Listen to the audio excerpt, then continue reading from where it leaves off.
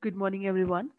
Today we're going to do some questions based on TCS NQT question paper that had been conducted this year between the dates of 24th and 26th October. So TCS NQT, if we talk about overall pattern of the paper, what is there in the paper, how the questions were. So they have four sections. They have quants, logical reasonings, and they have portion for uh, coding as well if we talk about the overall difficulty level of that particular paper how difficult the paper is uh, i would say difficulty is easy to moderate. The questions are not very difficult. Questions are not very typical. Just they would need some logic to be solved and to be used with each question that is given in that particular paper. So our concern is going to be the tcs nqt set b paper that had come up what were the questions that were there there so we're going to see those questions and solve those questions First question that came up there was the savings of an employee equals difference of income and expenditure. So obviously saving is equals to income minus expenditure. What whatever I'm earning minus whatever I'm uh, spending, difference of that becomes my savings. Okay. If the income of three people A, B, C is considered and it is in the ratio 1 is to 2 is to 3. Expenses is given it is in the ratio 3 is to 2 is to 1. Then what is the order of employees A, B, C in the increasing order of the size of their savings. So basically we need what is going to be the size of their savings, who saves the most, who saves the least. Okay, now let's say that the income of A, let income of A, let it be 100x. So income of A, if it is 100x, the B becomes 200x and C becomes 300x so these incomes is now mentioned. Now let a's expense talk about expense. So a's expense i'm taking it to be 90x because it is given 3 is to 2 is to 1 so simplest ratio that we could consider is let's make it 90x if we talk about b b becomes accordingly it will be 60x and c would be 30x so income I have, expenditures I have. Now, A is saving. Saving we already know given in the question it is income minus expenditure. Income is 100x, expenses 90x, A's savings becomes 10x. B's saving if we talk about what is B's saving, B's saving is 200, x minus 60x becomes 120x and C if we talk about similarly it becomes 300x minus 30x comes out to be 270x. Okay. So person who has saved the most is C followed by B and then A. So this becomes C, B and A. Answer to this question comes out to be option D that is C, B and A. Okay. Now this question could have been solved even logically. We could even use some logic if not for the ratios if we use the logic. So income is an increasing order.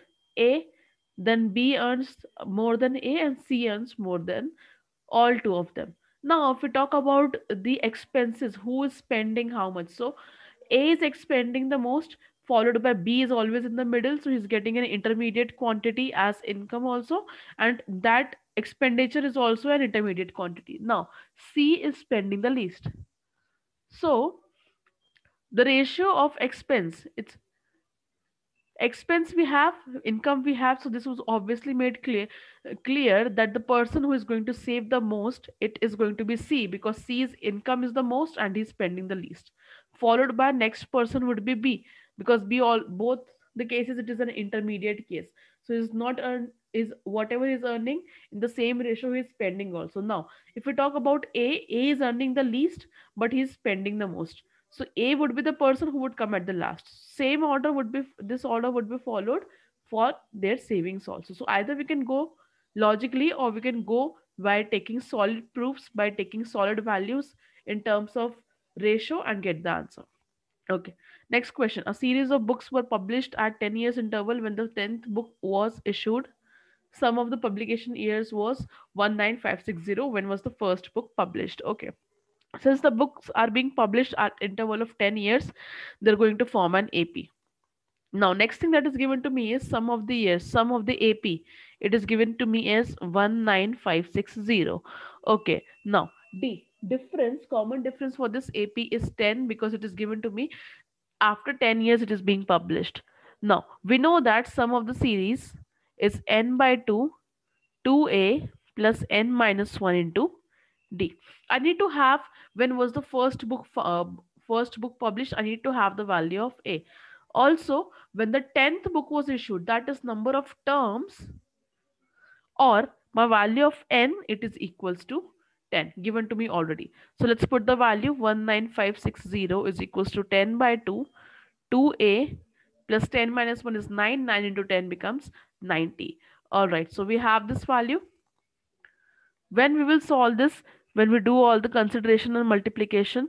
So 19560 and on solving minus 450 would come out to be 10a what we can do either let's just make it either this zeros goes out or you can do it 2 1 times 2 5 times then do the multiplication take it to the other side. Value of a would come out to be 1911 that is the first book was published in 1911 okay next question. A number plate can be formed with two alphabets followed by two digits with no repetition. How many possible combinations can we get? Okay. Number plate is formed using two alphabets and two digits. That is it is obviously a four digit number plate. Now for alphabets it is a to z. I have 26 options. For numbers it is 0 to 9 that is i have 10 options. Okay and it is given to me that repetition is not allowed so i'm going to go by number of ways it is possible. First place if it is two alphabets followed by two numbers if it is talked about first place can be filled in 26 ways. All the 26 alphabets can come up here. Obviously one of them would be used here. Next place can be filled in 25 ways. This is talking with respect to alphabet. If we talk with respect to numbers first number can be filled in 10 ways. 0 to 9 anything can come up here. Obviously one of them would be used here. Next becomes 9 so total number of possible combinations becomes 26 into 25 into 10 into 9 answer comes out to be 58500 option a is my answer. Okay. Next question. Two jars having a capacity of 3 liter and 5 liter respectively are filled with mixture of milk and water. In the smaller jar, 25% of the mixture is milk and the larger jar, 25% of the mixture is water.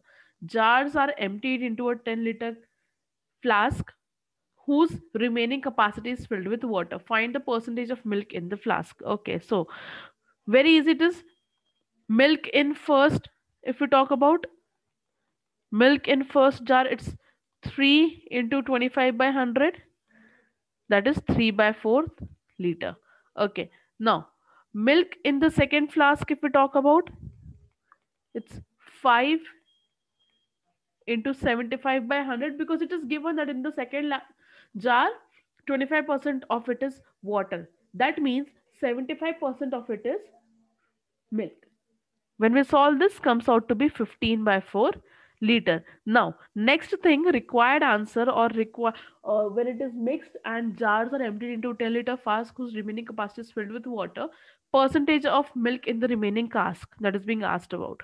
Okay, so re required answer is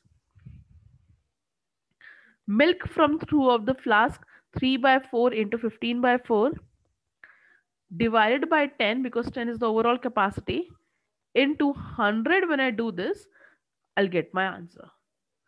Capacities of 2, when you multiply them, divided by total quantity is 10.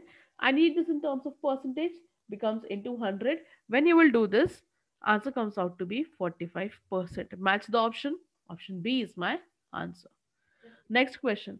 The value of the scooter depreciates in such a way that its value at the end of each year is three-fourths of its value at the beginning of the same year. Okay, important statement this is. If the initial value of scooter is 40,000, what, it's what is its value at the end of the third year? Okay, initial value, it's given, it is rupees 40,000. Now it is given that at the end of the year, its value goes down by three-fourths. So at the Initial value is its value at the beginning of the first year. Now its value at the end of first year, it becomes three-fourth of this 40,000. When we do this, it comes out to be 30,000. Okay, now this is the value at the start of second year as well. because it is given. The value at the end of one year is the value at the beginning of second year. So start of second year also, the value is 30,000. End of second year, what is going to be the value? It would be 3 fourth of this 30,000 that is already given to us. Value comes out to be 22500. This will be value at the starting of third year also. Directly I'm going for end of third year. Value at the end of third year would be 3 fourth of this 22500. When we solve this, it comes out to be 16875. Match the option. It's option D. Very simple this is. Next question that is given in the same series is A can complete a piece of work in 8 hours, B can complete the piece of work, same work is always talked about in 10 and C can do the same work in 12 hours. If A, B and C start the work together but A leaves after 2 hours, find the time taken by B and C to complete the remaining work. Okay, now this is very easy. I know work done, it's always equal to either 1 or 100%. If we talk with respect to time and work, work done is either 1 or 100%. But my work is also equal to LCM of those days in which some time is which completed or LCM of that time duration in which some work is being completed. Now, I can write my work that I have to do as LCM of 8, 10 and 12 also. LCM is 120. So I can say that I have to do one unit of one work complete or I have to do 100% of the work or I have to complete 120 units of work. All of that is going to be in the same. After this, how I progress it is, I'll find out A's efficiency. That is, in this case, A's work per hour, I'm going to find out. A's work per hour. A is taking 8 hours to complete. So this becomes 120 by 8. That is 15 units per hour is A's efficiency. If we talk about B, B is doing the same work in 10 hours. B's efficiency becomes 12 units per hour. C's efficiency, C is doing the same work in 12 hours. So 120 by 12, 10 units per hour comes out to be C's efficiency. Now I have all of their efficiencies. Efficiencies, how much work they're doing per hour. Now, work done in initial two hours because it is said that A leaves after two hours. That means for the first two hours, A B and C, they were working together. Since they were working together, how much work they would have done? So for the first two hours, work done would be 15 plus 12 plus 10 into 2. This becomes 74 units. Now 74 units of work is completed. Out of 126 120 units that had to be done, 74 is done. Remaining work is 120 minus 74 that is 46 units now this 46 units would be done by b and c because a has already left only person who's remaining to do the work is b and c remaining work is 46 units it will be done by b and c time taken by b and c to do the work is 46 divided by how much they will do together b and c in one hour is 12 plus 10 that is 22 units per hour when I divide it by 22, it is approximately 2 hours they're taking complete. 2 hours they're taking complete. Remaining 44. 44 46 minus 44 is 2. 2 by 11. 2 by 22. When you reduce it, it becomes 1 by 11. So total time taken by them is 2 1 by 11 hours to complete the remaining work. Option A is my answer. Okay. Next question. The diagonal of a square is twice the side of an equilateral triangle. Okay. The ratio of the area of triangle to the area of the square, it is what we have to find out. Diagonal of a square. I know diagonal of a square is a root 2. a root 2 is equals to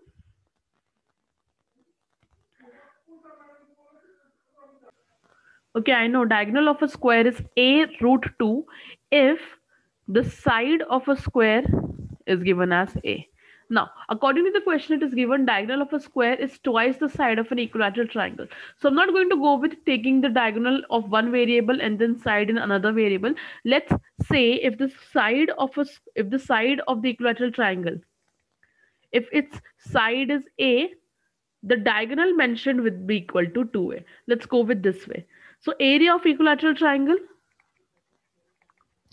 it is equals to root 3 by 4 a square. Area of equilateral triangle is root 3 by 4 a square. Now, area of square, area of square is half into diagonal square. So area of square is equals to half into diagonal square. If diagonal is known, I can find the area as well. Okay, half into diagonal square. Let's use the diagonal as 2a according to the question, half into 2a square. That is, when we do 2a, this becomes 4a square divided by 2. 2a square comes out to be the area. Now, root 3 by 4a square is already the area of equilateral triangle. So I need the ratio of area of triangle, ratio of area of, triangle, root 3 by 4 a square is to 2a square. This is what I need. a square, a square goes out. Root 3 by 4 is to 2. Simplify the denominator. Root 3 is to 8 becomes my answer. My answer is option A. Okay. Next question. According to the question, A arrow B means A raised to power B. If f of x is given, f of minus 3 is given, then what is the value of f of 3 that is being asked? Okay. Now, this is a very simple question. f of x is given as a x power 4 minus b x square plus x plus 5. This is what the question is. It's actually a equation of power 4. Now, f of minus 3 is given. f of minus 3 means instead of x, I'm going to put out minus 3. So f of minus 3, let's look at what the answer would be. a into minus 3 raised to power 4, that is 81a. This becomes minus 9b minus 3 plus 5 and it is given to me as 2 already. So 81a minus 9b, this becomes plus 2. Plus 2 is equals to plus 2 goes out. So 81a minus 9b equals to 0. I'm going to take it as equation 1. I'm not going to solve it any further because this can be used somewhere when I have to find out 3. f of 3. Okay, so f of 3, let's do this. f of 3 is a x power 4. So again, this becomes 81a minus 9b plus 3 plus 5. Okay, 81a minus 9b is already equal to 0 from my first equation. So I'm going to put it as 0. 0 plus 3 plus 5. My f of 3 comes out to be 8. My answer is option C. Next. So a shop sells chocolates it used to sell chocolates for rupees 2 each, but there were no sales at that price. When it reduced the price, all chocolates were sold out. Okay, enabling the, uh, the shopkeeper to realize rupees 164.90 from the chocolates alone. If the new price was not less than half the original price quoted, how many chocolates were sold and we need to find out at the reduced price. Okay. So we're going to check with respect from the options only. Let's not go into forming equations. So if option A, C and D, if option A, C and D were used, the required price of the chocolate has to be more than rupees 2.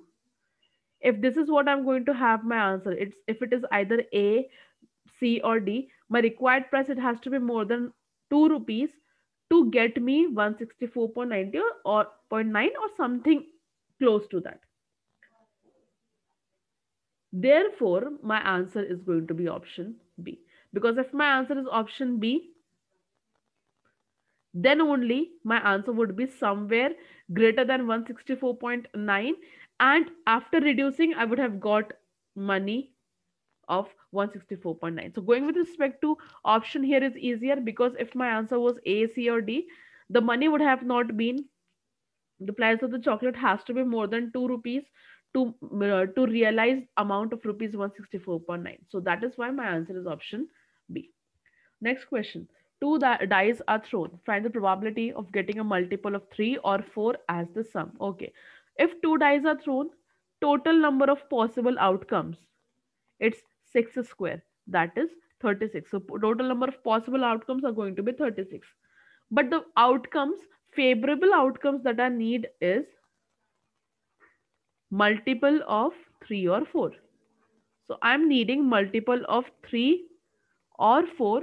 They are going to be my answers. Okay. Possible outcomes, let's say. So if it is 1 comma 2, sum is 3. Okay. 1 comma 3, sum is 4. 1 comma 5, sum is 6. 1 comma 6 will not be used because that is neither a sum of 3 nor 4. Now 2 comma 1 can be used. 2 comma 2 can be used. 2 comma 3 will be 5 of no use. 2 comma 4. Okay. 2 comma 5 not possible 2 comma 6 is possible 2 comma 7 is not there. Okay 3 comma 1 is possible. 3 comma 2 not possible. 3 comma 3 possible. 3 comma 4 is not a multiple of 3 or 4 3 comma 5 gives me 8 3 comma 6 is my next. Now 4 4 comma 2 4 comma 3 is not possible. 4 comma 4 okay 4 comma 5 now if we talk about 5 5 comma 1 6 5 comma 3 8 5 comma 2 is 7 not my answer. 5 comma 3 okay 5 comma 4 yes possible. 5 comma 5 is of no use. Similarly 5 comma 6 is not of any use. 6 comma 1 no use. 6 comma 2 okay 6 comma 3 okay. 6 comma 4 not a multiple of 3 or 4 6 comma 5 similarly not of my use. 6 comma 6 can be of my use. So if we look at the possible number of outcomes favorable outcomes of 4 8 12 16 and 20 so favorable number outcomes is 20 probability that i need to find out is favorable outcome divided by total 20 divided by 36 that is favorable outcomes are 5 by 9 my answer is option A, 5 by 9.